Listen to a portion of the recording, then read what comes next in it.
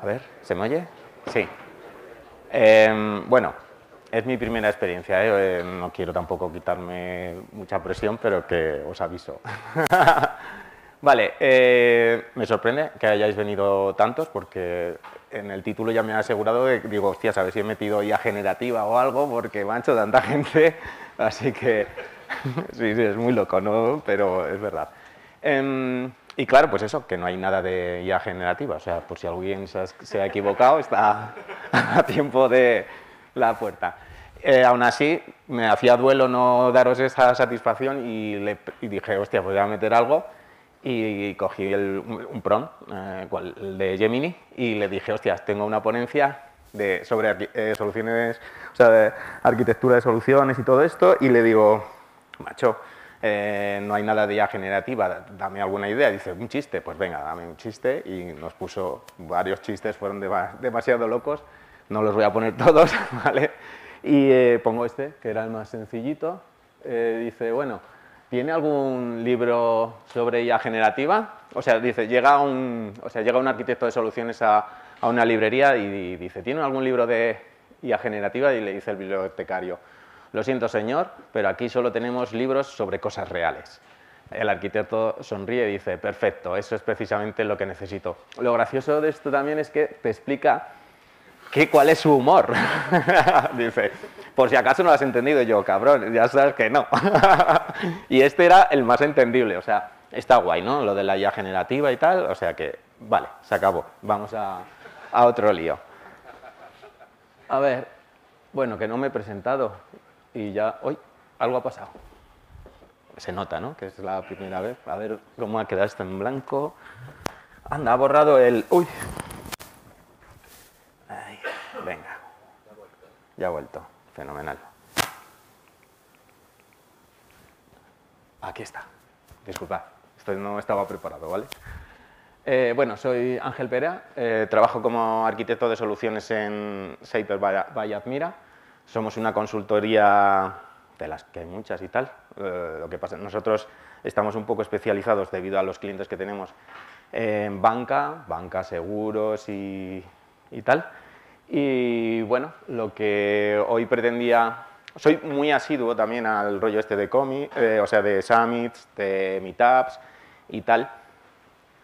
Quizás por mi faceta, eh, lo que me gusta ver normalmente es qué es lo que ha encontrado la gente, qué problemas tenían y cómo lo han solucionado. No necesito ir al grano fino, ver código y tal, soy así, ¿de acuerdo? No soy tan... Mola luego el código, ¿eh? lógicamente, pero soy un poco, pues quizás, lo digo, os aviso ya que no voy a profundizar, a llegar a unos niveles que diga, hostia, está, no sé qué, vale, bueno, entonces va a ser un poco qué es lo que nos ha pedido el cliente, cómo hemos empezado, quiénes, han participado, tecnologías que se han utilizado y cómo lo hemos resuelto. Está terminándose ahora mismo, o sea que esto es una pequeña pruebecilla de cómo va para hacerla luego ya más gorda y tal. ¿Vale? Em, el chiste, maravilloso. Eh, ¿Qué es lo que,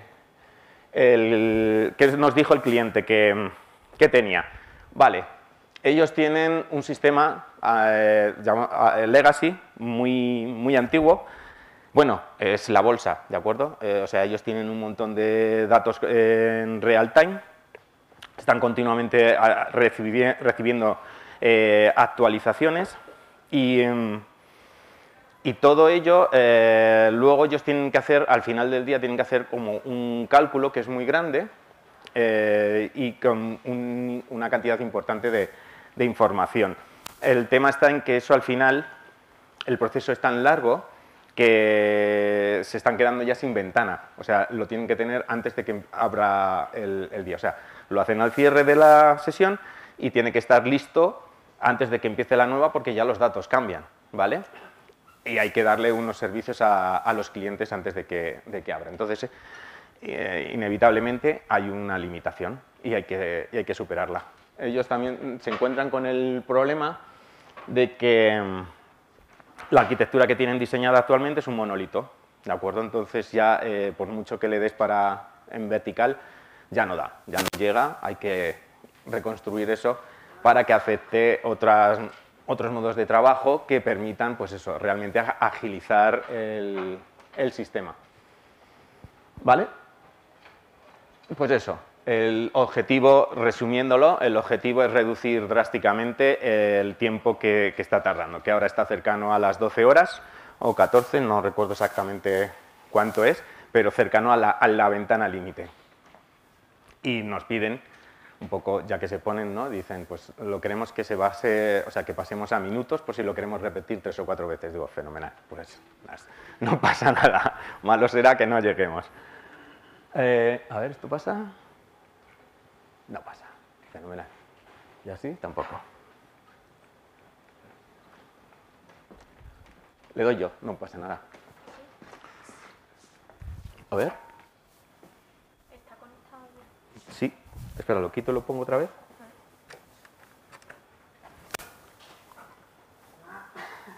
Si no pasa. Sí, paso yo, paso yo. No hay problema. ¿Eh? ¿Ha pasado?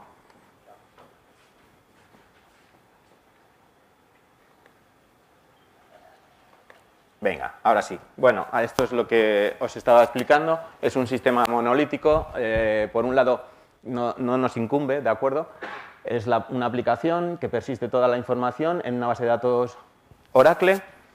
Eh, y aquí es lo que realmente hemos estado hablando, ¿de acuerdo? digamos, es la base de datos.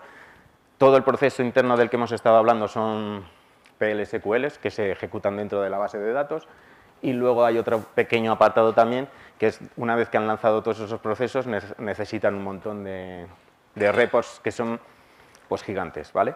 Y entonces, pues también los repos se unen al proceso. O sea, digamos que el proceso a lo mejor tarda 8 horas y 4 horas los, los repos. Entonces, también es otro punto de vista interesante a la hora de que tú dices, hostias, pues necesito optimizar tiempos, pues lo que vas a hacer es buscar qué puntos, buscar paralelismos y dices, hostias, a lo mejor los reports los puedo empezar una vez que termine. Bueno, me estoy adelantando, no, no pasa nada. Vale. La solución. Bueno, cuando se nos llamó Admira, pues hicimos un pequeño, una pequeña fase de discovery en la que se participó más o menos todo este entramado de personas, de perfiles, y, aquí a la derecha tenemos todo lo que es realmente el stack tecnológico que se, ha utilizado, que se está utilizando en el desarrollo del, proyecto. Son un montón de tamagotchis diferentes, ¿de acuerdo? Pero claro, ahí entra todo en juego, entra todo lo que es el front, eh, toda la gestión de las APIs y, y tal. Yo, como os he dicho, vengo del dato, así que mm, lo estoy todo, de lo que vamos a hablar hoy especialmente es de la gestión de la información, ¿vale? De cómo la cogemos, cómo la transformamos, cómo nos la dejamos un poco alicatada para preparar, eh, haciéndonos la cama de cara a los diferentes procesos, ¿vale? Para agilizarlo. No es todo músculo, muchas veces es ingeniería, o sea, es planificación, es adelantarte, ir dejándote las cosas un poco arregladas para que luego vaya todo rápido. La tecnología indudablemente es importantísima. Las herramientas que estamos utilizando pues, para el front y los microservicios tenemos Angular Spring Boot. Todo para la transferencia, el movimiento de, los datos, tenemos Kafka con el API de Kafka Stream. Y luego tenemos tres bases de datos diferentes, eh, PostgreSQL, eh, Oracle y MongoDB, ¿vale? Mm, Inicialmente, a lo mejor podéis ver arriba estaba SQL Server, pero bueno, tras ciertas pruebas, pues han dicho, hostias, vamos a quitarlo antes de que sea, que, no pasa nada, ¿eh? que es maravilloso, pero a lo mejor para este caso de uso no se queda un poco pequeño. Postgre lo vamos a quitar en nada. no, lo estaba grabando, a ver si lo van a oír, ya verás. Va a pasarle tres cuartos de lo mismo, así que eh, y habrá que pensar otra, otra historia, ¿vale? Porque en realidad eh, en Postgre lo que estamos haciendo es, eh, el usuario dijo, hostias, es que yo me manejo muy bien con, con SQL, pues mándamela a una base de datos relacional y tiramos millas y que tenían en un principio SQL, luego dijeron, pues pásalo a Postgre, pero estamos generando unos mil millones de registros al día, se va a morir enseguida no, no va a poder. Por muchas particiones que hagas y todos estos, no, no va a poder. Habrá que pensar algo más tipo data lake o lo que sea. Vale.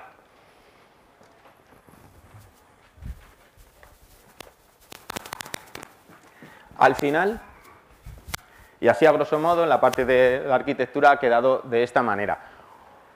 Una de las cosas que nos encontramos al principio, lógicamente, es que nos teníamos que traer la información y además la queríamos en real time y, nos la teníamos que traer. Eh, otra de las premisas es, ostras, eso ya existe, van a seguir usándolo y nos lo tenemos que traer. Entonces, tenemos que traernos esa información sin hacer apenas impacto en los sistemas legacy que, existen. Lo, vamos a ir hablando con mayor detalle, lo que hacemos es tirar con, con Kafka Connect, o sea, eh, recopilamos de, el registro de transacciones de, la base de datos legacy, o sea, lo que viene a ser el log, y nos traemos toda la información en, en, real time. Tal cual se persiste algo en la base de datos, nosotros nos lo llevamos, nos lo llevamos a Kafka y hacemos lo que haya que hacer. La arquitectura, como os comentaba, luego esa información tenemos una base de datos de Oracle, los micros, como os he dicho, con Spring Boot. Eh, algunos de ellos hacen uso de Kafka Stream y luego la capa de visualización Speed Ledger eh, MongoDB. Y la parte de histórico, por decirlo de algún modo, que quiere explotar luego el usuario de negocio, se ha dejado en, en PostgreSQL, que es la que yo creo que le queda muy poco tiempo. Y aún no ha empezado, o sea que, vale. Esta es más o menos la arquitectura, ¿de acuerdo? Definitiva. Y ahora vamos a ver cómo hacemos uso de cada una de esas herramientas para eh, luego terminar con el resultado, el resultado final.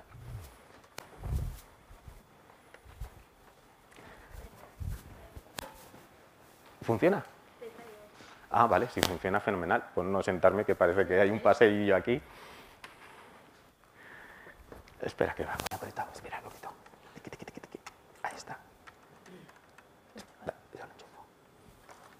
Ahí va, otra vez, mucho zoom. Vale, a ver. Fenomenal. Vale, ya estamos otra vez. Vale, eh, solo así como culturilla para los que les guste un poco más eh, este, este, rollo, tal. Eh, aquí os presento lo que sería la... Esto es el entorno de desarrollo, ¿vale? Esta es la arquitectura que tiene el clúster de Mongo y esta es la arquitectura que tiene las piececitas de todo lo que sería la plataforma de Kafka. ¿vale? Todo esto lo hemos empezado con Open, ¿de acuerdo? ahí vamos con Binadmi, aquí también vamos con Binadmi, aquí en un principio íbamos con Stringy, que es de Red Hat y tal, fabuloso, pero dijeron, vamos a darle una vuelta de tuerca y lo vamos a poner más complicado, pues adiós operador y, vais a ir con, con Binadmi a pelo, fenomenal. Em, ya, ya, ya la han cambiado, ¿vale? O sea, ya volvemos a Stringy en la siguiente fase, ¿vale? Eh, bueno, pues Mongo, pues como veis, eh, es bastante sencillo. Tenemos la parte de abajo, que son los shards para los, los datos, o sea, son nueve pods, y arriba tenemos los confisores para la metadata, otros tres, que ya son 12, y, y, dos routers para lo que es la atención de las peticiones, o sea que tenemos 14 elementitos solo, solo para Mongo. Y bueno, en, en Kafka ha cambiado un poquito la configuración. Kafka Connect tenemos seis, eh, elementos, o sea, seis eh, elementos en el clúster de Kafka Connect. Aquí pues en esta diapositiva eh, solo tengo dos, pero en realidad son, seis. Los brokers no los hemos cambiado, aunque son bastante más grandes de lo que eran inicialmente. Eso para, para desarrollo, simplemente. Zookeeper ahí a su marcha. Y bueno, la, parte de control, pues tenemos UIFOR Apache Kafka, Red Panda, hay diferentes, porque no se deciden, el UIFOR Apache Kafka ha dejado, lo ha dejado de, está descontinuado, entiendo que ha, empezado a trabajar en Confluent, el chaval que lo hacía. y, y esquema es verdad, o sea, hola, no puedo con ello, me lo, le digo, ¿cuánto? Y se viene, ya está, se acabó el Open rápidamente. Es una broma, pero Vale, y esquema registry. bueno, vale. Quería quitar un poco de tensión. Um, esquema registry, como es tan simple, ese va a su bola, es, así chiquitín y, no pasa nada. Es clave, ¿eh? en entornos superiores estará en alta disponibilidad. Vale. Eh, bueno, puntos claves de, que vimos cuando hicimos la primera fase de Discovery y determinamos, hostias, pues para conseguir lo que estamos buscando, estos puntos son los que tendremos que darle mayor atención. Lo que os comentaba, hola, los datos están en el legacy, el legacy va a estar funcionando y no lo tenemos que traer. No podemos estar ahí haciendo un long pooling y llevándonos la información o hacer un batch porque lo queremos en, en real time. O sea, había ciertas complicaciones entonces dijimos, pues vamos con Change Data Capture, ¿vale? que es lo que os he comentado, mm, es muy simple, o sea, todas las bases de datos tienen su log, eh, es donde están escribiendo absolutamente todo lo que está ocurriendo en la base de datos, un borrado, una inserción, o sea, un update, un delete, eh, lo que sea, nos lo llevamos. Toda esa información nos la llevamos. Entonces estamos sondeando unas 80, 90 eh, tablas diferentes, del legacy menos, del legacy menos, ¿vale? Del legacy a lo mejor son 15 o 20, muy gordas y tal, y, tal cual eh, les llega la información, pues imaginaros, pues ha cambiado una, un valor en un contrato, pues eso automáticamente lo, nos lo llevamos. Esto ya veremos que es muy chulo, que nos venga, porque nos va a facilitar pues lo que os decía, ¿no? Planificación, decir, ostras, pues si yo luego tengo que hacer un cálculo, ya me ha llegado todo, si a lo largo del día no se va a producir ningún cambio en eso, pues yo ya puedo hacer ese cálculo. Hostias, llega otra vez. Bueno, pues a lo mejor trabajo tres veces, pero no siempre hay cambios sobre todo el entramado de datos. Por tanto, si yo tal cual me van llegando los datos, voy haciendo ya ciertos malabares, es muy factible que al final un cálculo que podía ser un 100%, yo ya haya hecho un 60 o un 80%, por tanto ya reduzco, ¿vale? O sea, es un poco, decís, hostias, estás quitando toda la magia, sí, cierto, ¿vale? Pero es que es así. vale. Otro, otro punto que nos parecía muy interesante aplicar era utilizar un patrón de diseño CQRS, ¿vale? que es, lo, que os lo que aparecía en la, pantalla, en la pantalla anterior, donde teníamos la base de datos de Oracle y por otro lado teníamos Mongo. La parte de lecturas o capa de visualización, SpeedLedger, como quieras, la tenemos en, en, Mongo y la parte de transaccional o escritura está en, en Oracle. Eso que nos permite, nos permite quitar al sistema un montón de responsabilidades, o sea, y cargarlo todo sobre, por ejemplo, sobre la base de datos, no tienes que hacer otro tipo de controles, es la base de datos Oracle la que se encarga, y, si nuestro sistema en un momento dado está escribiendo un montón, es ese, ese punto donde va a estar la presión del sistema. Si estás leyendo un montón, va a ser el otro punto el que esté sufriendo la presión. Y si hay muchas lecturas eh, y pocas escrituras, donde vas a dimensionar va a ser en la capa de visualización y no en la otra. Entonces, era otro punto que nos parecía muy interesante de aplicar, sencillamente por eso, porque al final cuando te exigen pasar de 14 horas a minutos, cualquier detalle, cualquier mejora va, a venir eh, a favorecernos. Es lo que hablaba ayer con, con Marquero, que me decía, no, aquí no va a hacer falta. Digo, si puedes bajar 8 minutos, bajaremos 8 minutos fuera, porque luego igual le echas así, hostias, media hora, ¿de dónde? Ahí había 8 minutos, ya no es media hora, ya son 22. Vale. Eh, otro, ojo, me estoy quedando muy seco, voy a coger agua, disculpad. Es la edad, ¿eh? Un catarro me dura ahora casi un mes. Joder, no sé cómo va esto. Vale, no bebo agua.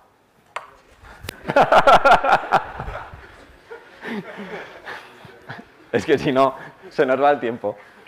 Eh, me enrollo mucho, perdona. Proceso, eh, Kafka Stream, otra cosa que eh, os he, comentado, ¿vale?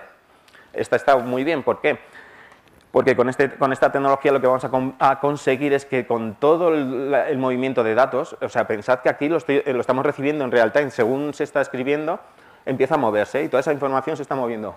Kafka Stream lo que nos va a permitir es coger esa información y jugar, o sea, hacerla lo que queramos con, ella durante ese periodo de tiempo y luego depositarla donde queramos.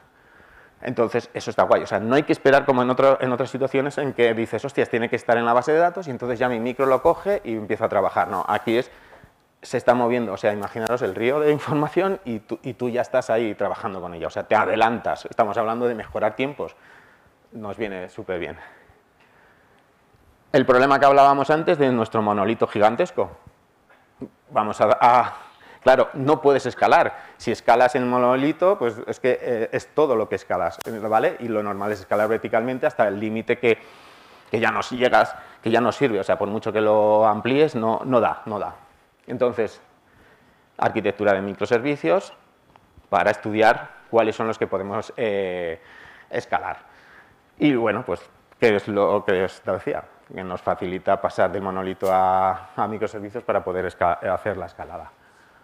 Vale. Bueno, se quedan cortas las diapositivas porque como cuando lo leo ya os las más o menos os las explico, pues bueno, así luego vamos más rápido. Vale, eh, Change Data Capture. Es lo que os comentaba, lo que os he comentado, ¿de acuerdo? Mm, para los que no lo conozcáis, es una tecnología que lo único que, hace es recuperar la información de lo que sería el maestro contable de las bases de datos. Todas ellas no están escribiendo solamente en la base de datos, escriben también un, log, que es el que cuando pasa cualquier cosa, el DBA dice, no os preocupéis, joder, que tenemos esto, solo que hay que recuperarlo uno a uno desde el principio, si ahí es donde viene el mago y se viste de hombre de negro y tal, dices, fenomenal, guay, la has recuperado. Nos pasó hace poco una, hostia, no te la digo porque te mueres. Eh, Fue muy loca, ¿eh? Como se recuperó. Yo ahí se me soltaban las lágrimas. Digo, este tío es muy bueno. Vale, eh, vale. Recuperas la información. ¿Qué es lo que hacemos? Con el clúster de Kafka Connect, y aquí nosotros hemos utilizado eh, el plugin de Debezium, ¿vale? Que lo que hace es leer del registro de transacciones de Oracle, trae la información tal cual ocurre, genera un mensaje, nos apoyamos, no lo he pintado por ahí, más que al principio, utilizamos esquema, ¿vale? Para que no haya ningún problema, o sea, vamos con esquema abro y, eso también nos va a permitir que nuestros micros no se peguen ningún susto, que la información llegue como tiene que llegar y, vaya todo muy corrido. Hablamos de que este sistema cuando lo terminamos de, montar y lo veáis, em, es frágil, o sea, va a ir como un avión, pero como hay alguna piececilla que no esté bien encajada, pues es como un reloj de estos buenos, ¿no? de los que no tenemos nadie, pero lo vemos ahí en los futbolistas y tal, maravilloso, pues igual, falla y se va todo al, garete. Entonces hay que, hay que poner piececitas que te ayuden, en este caso para la calidad del dato y todo esto. ¿vale? Entonces lo que, lo que conseguimos con, con los CDCs es eso, es llevarnos la información de las bases de datos sin impactar en la base de datos. ¿Por qué? Porque no es la parte de la base de datos donde está trabajando, digamos, es un, log, es un fichero log y es muy, es muy, muy rápido. ¿Vale? Eh, pues para, usamos diferentes plugins, ¿por qué? Porque cada uno, pues yo qué sé, eh, el de Mongo va mejor usar el de Mongo, para Oracle pues usamos Debezium, eh, y para Postgre también estamos usando de, Debezium y, y en algún caso estamos usando Confluent, alguno de Confluent, de los que tiene Open. De momento, como os he dicho, en Kafka no, entra, no entramos con, con Confluent, ¿vale? Sí que en Mongo al final estamos en desarrollo, estamos yendo con la, o sea, con la de Binatmi, Hubo que hacer unos cambalaches importantes porque la parte de Binami no tenía TLS y nosotros queríamos TLS, o sea, hubo que modificar un poco los char y tal, y mola, está muy bien. Eh, pero ya, ya se ha contratado la versión de Mongo, o sea que a partir de ya se está instalando con soporte, o sea que maravilloso. Hemos tenido un susto esta semana además, justo. Qué guay. Vale. Patrón de diseño CQRS, lo que os he comentado, o sea, me adelanto, ¿vale? me pasará todo el rato. Em, la, división, ¿vale? Entre la capa de, escritura y la capa de, lectura. El objetivo es el que os he comentado. Eh, tenerlos separados y dimensionar la que, la que se necesite. Mañana a lo mejor no nos interesa Mongo, se nos queda corto por lo que sea y decimos ponemos Redis porque queremos más, más agilidad, si puede, ¿no? Pues ponemos Redis y, ya está. O incluso, otra de las cosas que nos permite el juego de, de Kafka Connect es que la información ya la tenemos en Kafka y la podemos llevar en real time a donde nos dé la gana. O sea, lo mismo podemos, lo podríamos llevar a Mongo, pero también podríamos llevarla a un Redis, ¿de acuerdo? Porque a lo mejor lo que nos interesa es otra cosa, o sea, a lo mejor una query, o sea, no vamos a cambiar Mongo porque haya una query que sea hiper brutal y que requiera muchísima velocidad. Pues esa query probablemente lo que haríamos sería hacer un Kafka Stream que hiciese los agregados, lo dejase alicatado y la persistiésemos en, Redis, aunque a la vez esos mismos datos fuesen a, Mongo. Pero claro, el front cuando fuese a hacer la consulta, el front, o puede ser la operativa de cálculos, puede ir a Redis y ya, y ya va mucho más rápido. ¿vale? Y lo chulo de esto es que el trabajo se hace todo a la vez. O sea, no estás trabajando, ahora un batch aquí, hago los... No, según se va haciendo, tú vas distribuyendo la información, vas haciendo en algunos casos unas operativas, en otros otra, según lo que necesites. Por eso nos interesaban este, este, estos diseños. Lo que os comentaba de los Kafka Stream, ¿de acuerdo? Nosotros nos podemos estar llevando la, eh, la información de una, dos, tres tablas, lo que queramos, y en nuestro caso, nosotros no tenemos un modelo no hemos diseñado un modelo hiper eh, normalizado, al contrario. ¿Nosotros qué buscamos? Nosotros estamos buscando eh, absoluta velocidad, ¿no?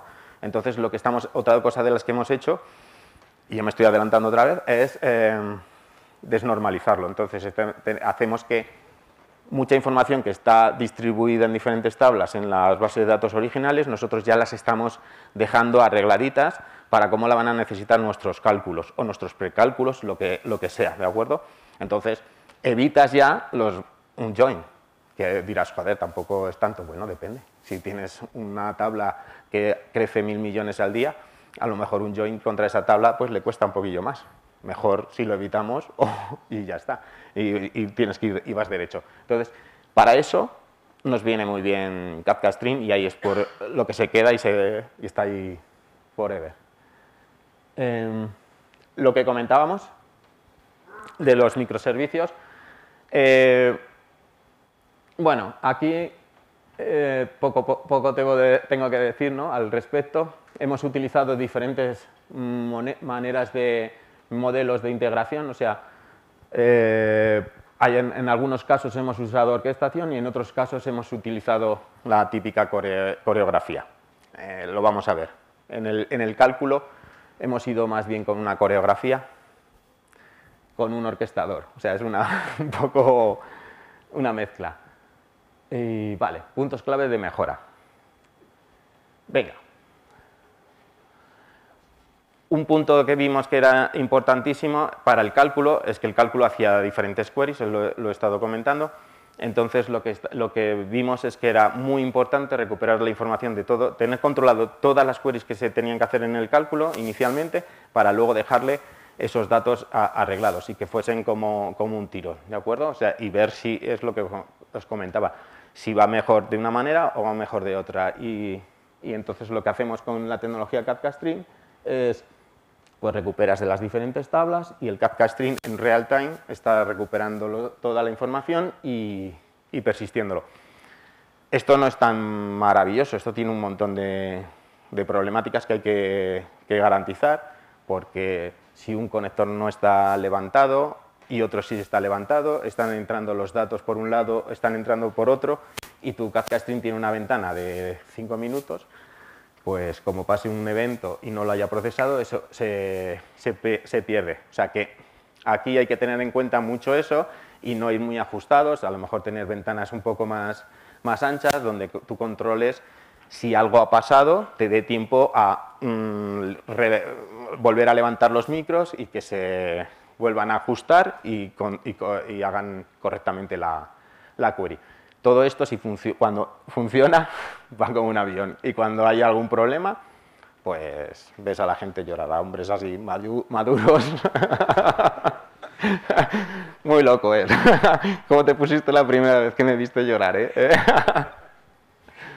Vale. Adelantarse. vale, lo que, lo que os comentaba.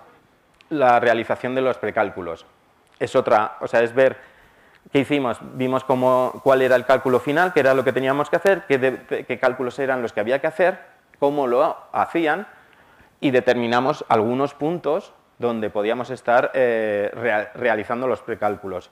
Es muy chulo porque dices, joder, es que estás, porque realmente trabajas más veces, o sea, un cálculo lo puedes repetir varias veces, o sea, por ejemplo, entra, esto puede ser un contrato, en el contrato hay diferentes acciones y, varía la acción, por tanto, el riesgo de ese contrato hay que volverlo a recalcular porque ha variado una, una acción, que puede ser una tontería, puede ser que se ha ido al hoyo la seguridad ahí, ¿vale? Entonces dices, vale, pues venga, entonces, según van entrando esas, pequeñas modificaciones, pues dices, hostias, para el cálculo final yo necesito haber ya calculado, haber hecho un precálculo. Eh, o sea, no es que lo tenga que haber hecho, si no lo hago anteriormente, lo tengo que hacer en ese momento. Entonces dices, hostias, pues lo hago con anterioridad, porque no todo en todo el momento están cambiando todas las variables de ese, de ese contrato. Por tanto, si yo si de un contrato, o sea, si de mis 100 contratos que tengo solo han cambiado 60, yo tendré que repetir el cálculo sobre esos 60, pero si, si y ya he hecho el, el, de los otros 40, ya he hecho los cálculos, por tanto me evito un 40%. Esa es, esa es la estrategia que seguimos ahí, ¿vale? Llegado, se hace el cierre, ya no hay modificaciones, como esto es en real time, se estaban calculando, ¿de acuerdo? Cuando terminen, terminarán y se, y se acabó. Entonces, ese era otro puntito que, que vimos que había que, que mejorar y que como veis aquí hacemos uso para todo esto, como os he comentado, con tecnología CDC, nos llevamos todo, utilizamos Kafka Connect, Kafka y con nuestros micros pues hacemos luego los, los cálculos y persistimos. Em, vale. La paralelización, ¿vale? Es quizás el punto ya, eh, estamos acabando, ¿eh? no os preocupéis, que os veo la paralización. Es el punto quizás más, más, más divertido, pero es el punto que más hay que analizar, ¿vale? Entonces hicimos un análisis de dependencias para ver cómo podíamos eh, ir enhebrando todo. Eh, hacemos una descomposición de, de todos los del problema en diferentes fases para poder hacer una auditoría por cada una de ellas y saber cuál es la que puede tener problemas y atacar esa fase eh, y mejorar. Esto es lo que digo yo muchas veces, estos son vasos comunicantes, o sea, tienes la fase 2 que tiene mucha presión, la mejoras que te cagas y, de repente es la fase 3 la que, claro, ya le empieza a llegar la, la cera de otra manera, a lo mejor a una velocidad anterior. La fase 3 no tenía problemas, pero cuando has mejorado la fase 2, pues ahora la has pasado a la fase 3, ¿vale? Eh, eso es lo que os comentaba. Eh, al hacerlo en fases es más sencillo eh, identificar los cuellos de botella o los puntos de, mayor presión para meter mano sobre, sobre, ellos. Decidir qué tipo de, paralelización vamos a utilizar, si puede ser, hay veces que nos va a venir bien hacerlo, de hecho hemos utilizado dos, hemos hecho paralelización basándonos en eventos, en el mensaje de Kafka particionado de los tópicos, escalado del micro, y en algunos casos, no es que no se pudiese hacer así, pero cuando escalas de esa manera tienes que tener un control, por otro lado, un poco más exhaustivo. Entonces dices, hostias, pues voy a hacer una escalada dentro del propio micro. O sea, coges un micro, le metes mucha, mucha RAM y empiezas a tirar hilos y la gestión la hace el propio, el propio micro. Entonces hay que valorar en qué, en qué momento una escalada u otra. ¿Se me oye? Fatal. Gestión de, del dato, pues lo que os comentaba, saber eh, cómo, si cada vez que vamos a utilizar, o sea, si un micro necesita esa información, que va a estar disponible, o sea, que no va a tener un problema, porque esto es muy sensible, o sea, si el tío dice, hostia, necesito los datos, necesita los datos ya ha hablado con Kafka, ya, tiene, ya se ha puesto en marcha, si no vamos a tener un problema. Entonces hay que verificar que todo, el dato va a estar en su, en su posición. control de concurrencias y resiliencia del sistema. Es un proceso largo, antes de manera monolítica apagabas eh, y encendías, aquello empezaba desde cero, prácticamente era bastante fácil, lo tenían muy controlado, un script de reinicio, cosas de estas. Aquí por lo que, si habéis visto, tocamos por mil pitos. O sea, si esto no es capaz de, apagar y encender por partes y que el sistema no se vea afectado, estamos muertos, o sea, porque puede fallar cualquier cosita. Entonces, es una de, las partes que hay que estudiar muy profundamente para, precisamente para, eso. O sea, si te ha fallado algo, un Kafka String que no estaba haciéndolo bien porque no había un conector caído y no ha entrado la información. Hay que echar los otros atrás y repetir el, proceso. Llegan de nuevo los contratos o llegan los últimos movimientos, se repiten los cálculos y volvemos a estar en la casilla de salida. Vale, perfecto. Pues ese es lo que el sistema tiene que, tenemos que analizar en estas fases para que lo tolere. Vale, esto es, es lo que os comentaba, ¿vale? Con nuestro pequeño micro orquestador, que es el que cuando llega el cierre del día, por ejemplo, Aquí ya hemos hecho un montón, o sea, aquí Namongo ya tiene un montón de información, ya está todo alicatado, las queries están, son maravillosas, está todo indexado al vamos, tiene alfombra roja para ir a, toda leche. Le llega el cierre del día y arranca, arranca los cálculos. Él va mandando a los diferentes tópicos de cada una de las fases la orden de, de arranque, que inicialmente, ¿qué hacemos? Pues vale, no escalamos, vamos a ver dónde están las cosas, vamos a ver el circuito completo en modo monolítico, por decirlo de algún modo, y, va, solo un único micro a un tópico con una partición, llega el mensaje, ese micro se encarga de todo lo que llega a ese, a ese tópico. Lee de, Mongo, hace su cambalache, persiste y, avisa al, al orquestador o coordinador que ya ha terminado. Él ve, esto es fácil, entre comillas, porque él tiene que estar preparado para cuándo tiene que considerar que ha pasado la fase, ¿no? ¿Cuántos contratos tenía que, calcular? Mil. Perfecto. ¿Cuántos, ¿Cuántos, mensajes de que ha terminado me han llegado? ¿Han llegado los mil? Perfecto. Pasamos a la siguiente fase.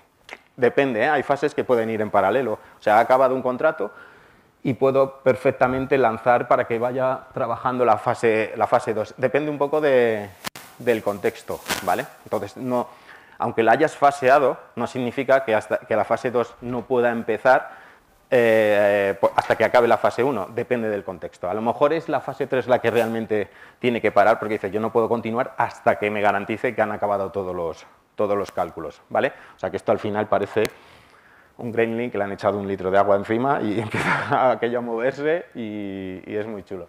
Vale, entonces, como veis, Aquí lo que nos da mucha importancia, le damos mucha importancia a las métricas para ver lo que os, lo que os comentaba, ¿no? Pues decir, pues esto está yendo fino, va ya al máximo, está en low, no, no, no, no nos aporta nada hacer una, un estudio o escalarlo, ¿de acuerdo?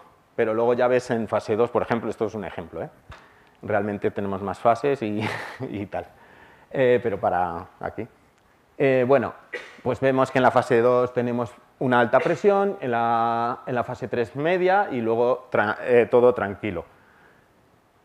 Pero bueno, ya tenemos unas métricas. Esto, por ejemplo, cuando hemos llegado a esta fase, hemos, eh, la métrica que teníamos eran 80 minutos. ¿vale? O sea, habíamos bajado de, de 14 horas o algo así a, a 80 minutos.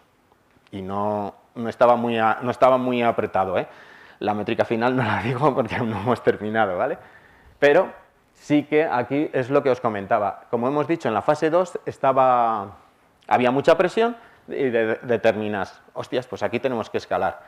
Lo bueno es que como hemos diseñado todo pensando en, los posibles puntos de, escalado, no hay que tocar nada en el código. sencillamente vas a, los tópicos, eh, o sea, los particionas tantas veces como micros quieres escalar, pues yo qué sé, en este caso cuatro particiones, y metemos los nuevos micros, los micros se enganchan, cada uno se hace cargo de su trabajito particionado, trabaja con la Mongo, que ya habéis visto que la tenemos bastante dimensionadilla para que atienda muy bien las peticiones, y cuando terminan, pues van terminando y van dejando en el tópico de resultados. El orquestador va detectando cuántos mensajes tienen que llegarle de cada operación correspondiente y puede estar atendiendo las diferentes, las diferentes fases. Por ejemplo, a lo mejor si termina un, el micro 2 de la partición 2, a lo mejor está haciendo algo que en la, fase 3 se puede terminar. Pues es posible que el coordinador te mande ya el mensaje de, oye, podéis arrancar la fase 3 para este contrato, por ejemplo.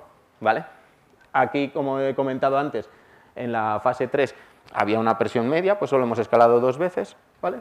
Y después eh, hace lo mismo y ya continúa, ¿vale? Así que Joder, me ha sobrado un montón de tiempo, podéis preguntar. ¿Sí? Una muy rápida. Sí. Eh, todo este proyecto, ¿a quién está orientado? ¿A broker, a fondo de inversión? A... No puedo decirte, lo tendría que matarte después. no, vale. No, eh, eh, es un proyecto interno para darle un servicio a los clientes de la bolsa que son los bancos. ¿Vale? No los brokers, ¿eh? los brokers no trabajan con la bolsa, o sea, la bolsa no puede atender, atiende a los grandes clientes.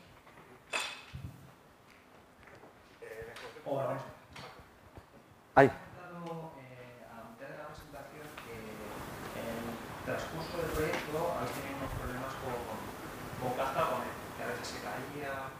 los conectores, con los conectores. Uh -huh.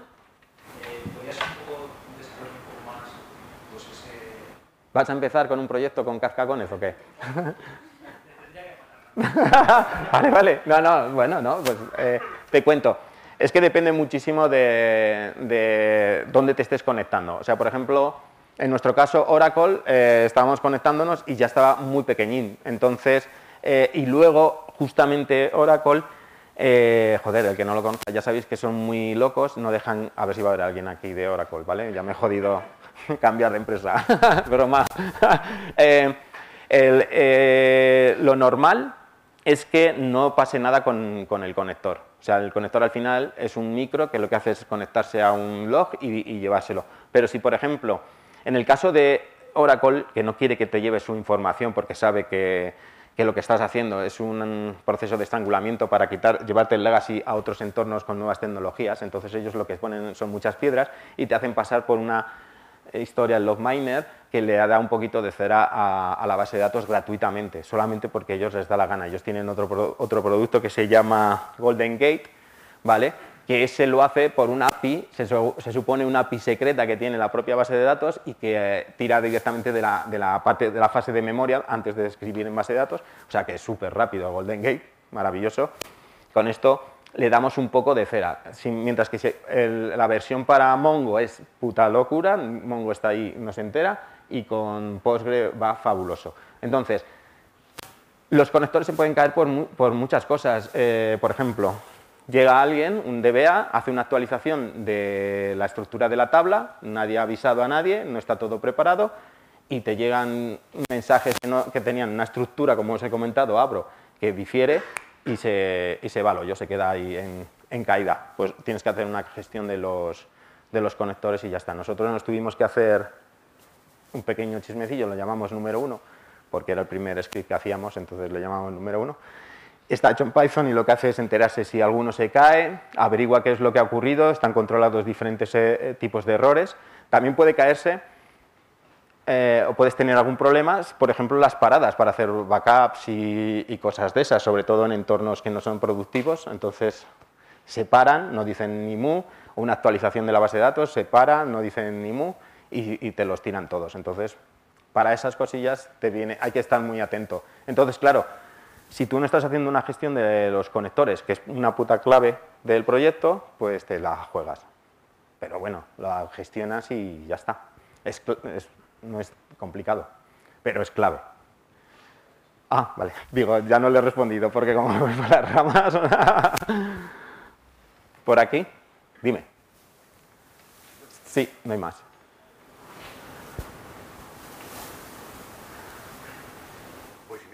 Pero sin micro, se te ve fuerte. eh, eh,